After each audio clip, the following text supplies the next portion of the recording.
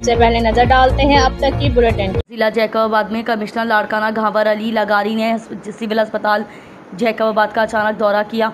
तफसीलात के मुताबिक कमिश्नर लाड़काना घावर अली लगारी ने डिप्टी कमिश्नर जैकबाबाद मोहम्मद यूसुफ शेख के हमरा सिविल अस्पताल जैकबाबाद का अचानक दौरा किया।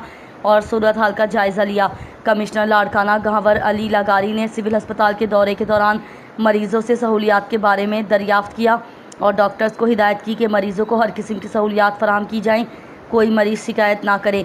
कमिश्नर लाड़काना घावर अली लगारी ने सिविल अस्पताल के OPD ward paeds ward, thalassemia centre, polio fix centre और दीगर वार्ड्स का दौरा किया और सूरत हाल का जायज़ा लिया। दौरे के दौरान कमिश्नर लाड़काना ने पीपीएचआई की कायम करदा लेबॉर्ट्री का दौरा किया और टेस्टों के सरकारी नर्ख मालूम किया और अमले को हिदायत की कि वो कम से कम नर्ख पर टेस्टें करके जैकबाद की आवाम को रिलीफ फराहम करें।